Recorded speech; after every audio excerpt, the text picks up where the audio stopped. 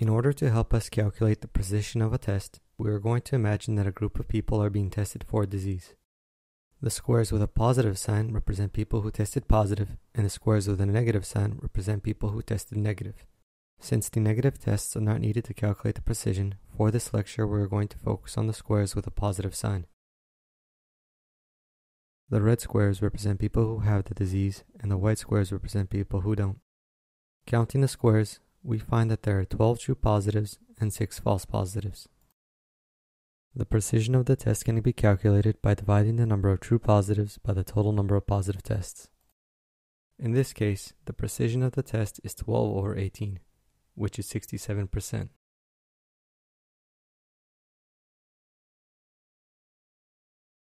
Once more, the precision of a test is calculated by dividing the number of true positives by the total number of positive tests.